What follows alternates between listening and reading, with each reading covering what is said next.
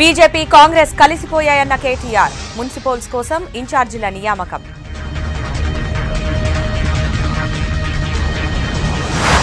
టీఆర్ఎస్కు ఓట్లడిగే హక్కు లేదన్న రేవంత్ బెదిరించి గెలిచే ప్రయత్నమని కామెంట్.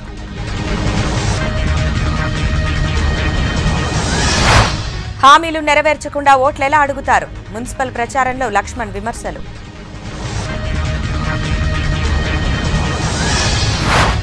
కరీంనగర్లో వెయ్యికి పైగా నామినేషన్లు జిల్లాల్లో ప్రచారం స్పీడ్ పెంచిన అన్ని పార్టీలు.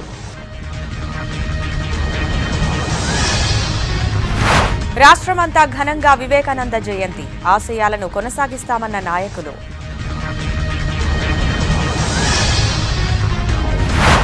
అమరావతిలో పర్యటించిన ఉమెన్ కమిషన్ పోలీసుల తీరుపై మహిళా నేతల ఫిర్యాదు. ఎస్వీబీసీ చైర్మన్ పదవికి పృథ్వీరాజ్ రాజీనామా. వేధింపుల ఆరోపణలపై టీటీడీ బోర్డు సీరియస్. యువతను విపక్షాలు రెచ్చగొడుతున్నాయి. సీఏఏతో ఎవరికీ నష్టం లేదన్న ప్రధాని మోడీ.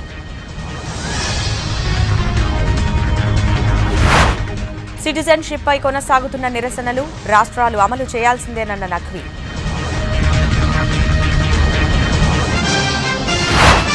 రేపటి నుంచి జేఎన్యూలో కొత్త సెమిస్టర్ ప్రారంభం. క్లాసులకు హాజరు కావాలని ఈసీ విజ్ఞప్తి.